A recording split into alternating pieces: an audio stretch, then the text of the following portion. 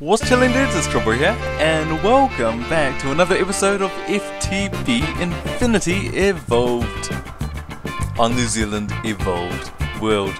So yeah, so today we're going to be doing a little bit with Tinker's Construct. We're going to create a few more tools because I've got the standard vanilla tools apart from my wooden lumber axe, but we are going to get some good uh, tools and such like iron tools, probably. I haven't really looked into the materials of Tinker's Construct to know what's the best. And then we're going to create, uh, we'll probably focus on just a tree farm for this episode. If we have a little bit more time, which I doubt we will, because every episode I tend to run out of time, then we'll, we'll work on a more sustainable food uh, farm than this. But yeah, that's our plan for today. So first of all, let's get started um, by probably creating an excavator, um, which is oh shovel. No, it's the version of the lumber axe, which is the advanced shovel. Basically, it digs in like a three by three area. So, uh, if I remember correctly, okay, no. So we go here. We create the pattern in the wood. Then we create a head out of woods. We can chuck that back in. And we get two gold, I believe. Chuck them into this Tinker's construct. Let them melt. And then we can go chuck our wooden excavator here. They'll create a little pattern. I believe.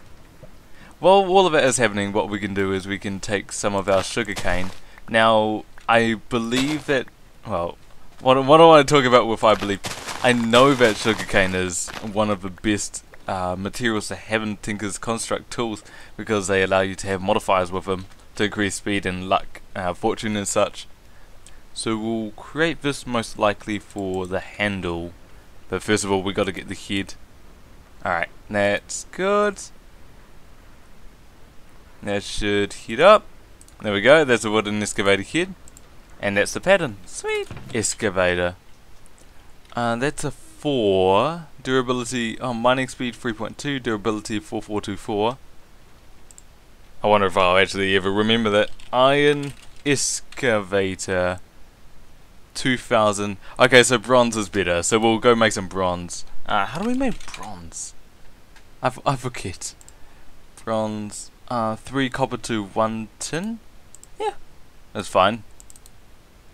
Um, so if we do that sort of ratio and then we chuck it in here, does that fit all of it? Oh no, it, it only has a limited amount of space. Okay, so they'll all combine into bronze. I think we should have enough for one more, which will probably be our lumber axe. Sweet, and then a large plate. This will cost 8 materials, and then the tough rod will cost 3 Hmm. I haven't really messed around with tools too much. Generally, I'll just uh, create the best tools outside of Tinkers, and then once I get to the end game where I have like silly amounts of um, once I have silly amounts of materials, I'll just create a Tinker's construct with like the end game materials. But I never really go mid game sort of tool creations. Not really my playstyle. Alright, so uh, there, 0.3 durability modifier. What's that? Uh, durability 2722 modifiers 4. Yeah, should be good. That's a lot better than our current efficiency 3 on next anyway. And then this should be able to clear this space very nicely. Yep! Sweet, so that's the first tool. And then we'll need to create a pick. Uh, let me do a little bit more research on materials and such, so I know what to look out for when we're creating our pick and such. And I'll be back in a second.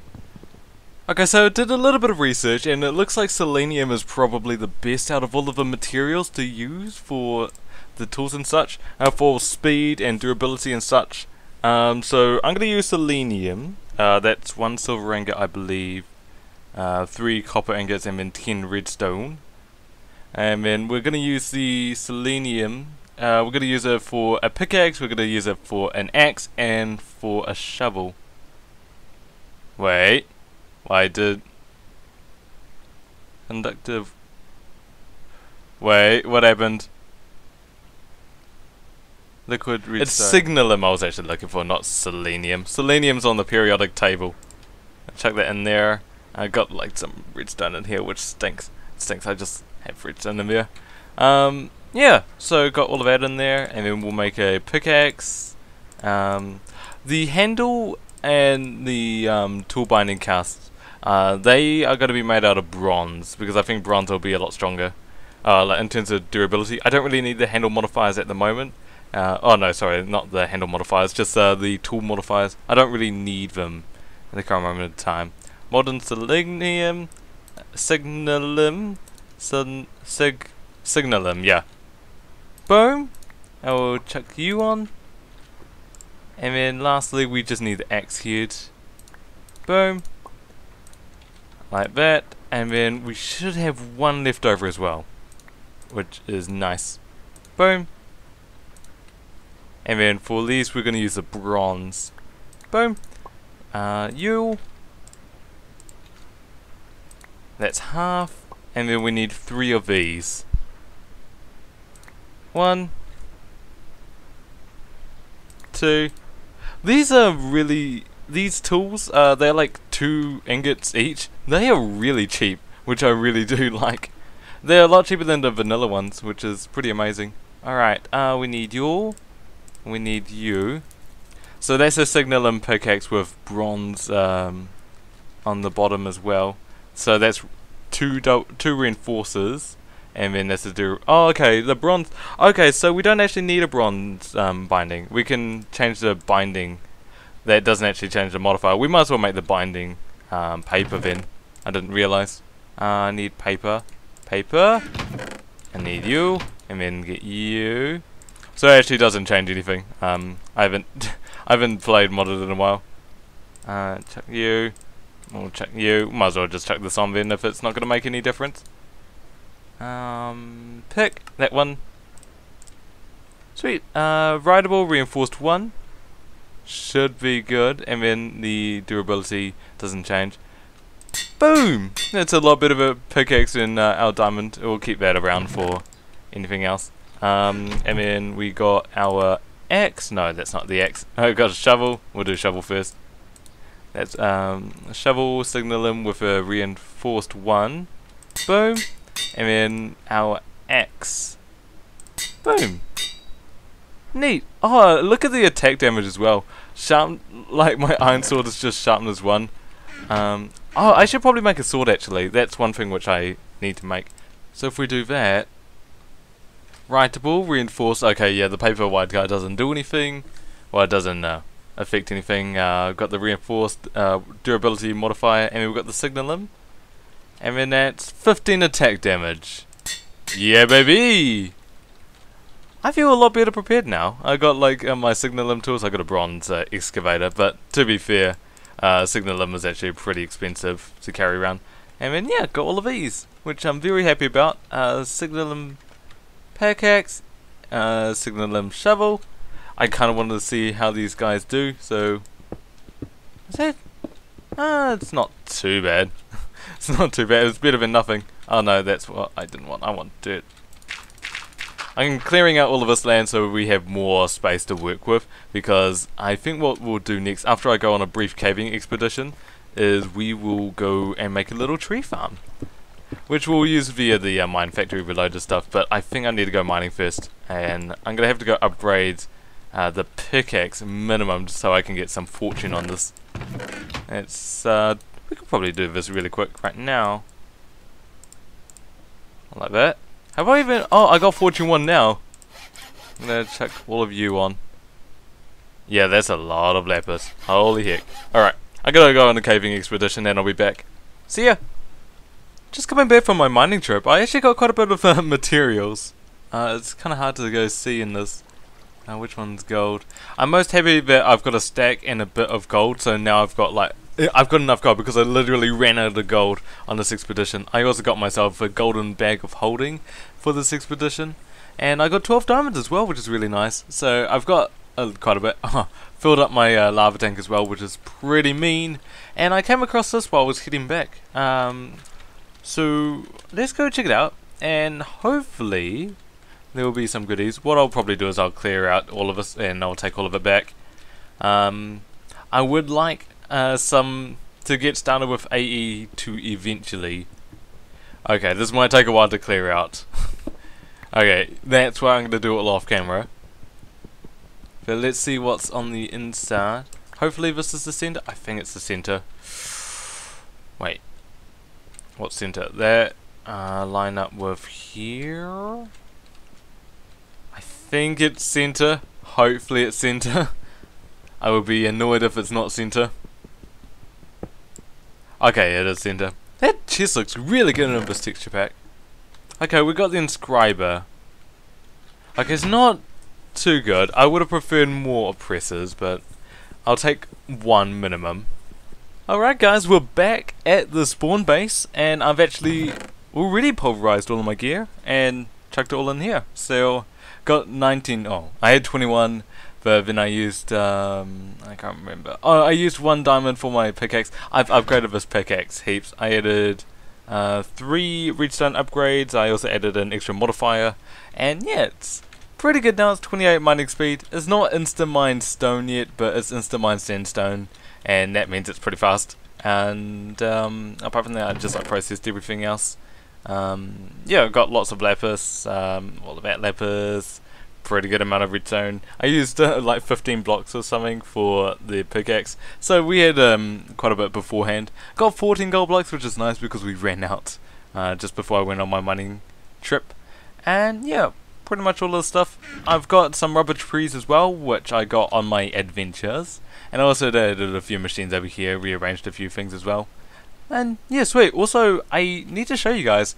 There's uh, in the FTB Infinity Evolved pack, there is a mod called Storage Drawers, and what these allow you to do is um, compress, uh, well, keep items in these drawers, and you can draw them out according to three different tiers of compression.